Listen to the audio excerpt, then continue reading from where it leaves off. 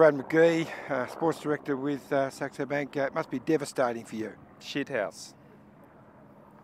Just to, to see a guy like that, I mean, you put all the effort in and the boys just did another wonderful job and Andy was, you know, he's just on top of things.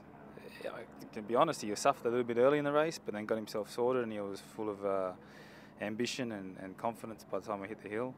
And then, poof, uh, I didn't even know what happened. It was something, chain jump or something like that.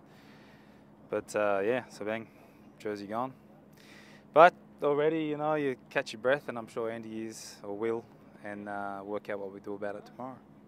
You actually had to stop twice. It looked like something to do with the front derailleur and the chain. It got stuck. And yeah, I mean, we couldn't see from where we were. We were just trying to yell at cameramen and commissaires and just try to, to get access to him. I mean, it's just an absolute uh, mess up in those climbs with just so much going on. So by the time we got to him, it was running again smooth, but of course he'd lost the jump and um, and just suffered to try to bring him back on the descent. It was a dodgy descent, I got to tell you. Probably the worst descent you could have to try to bring back time on, you know, because you take the risk, you, are off the edge. Yeah.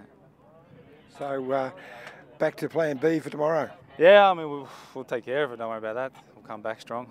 Uh, just have to, yeah, rewrite the plan a little bit.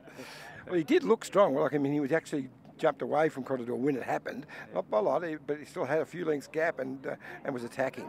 Exactly, uh, and tomorrow's a monster, you know. So um, yeah, we'll just get him calm, get him fed up again, and you know he forgets to eat, Andy. Sometimes you got to remind him that, and uh, fill his legs up, and he'll be ready to rock tomorrow. Don't worry about that.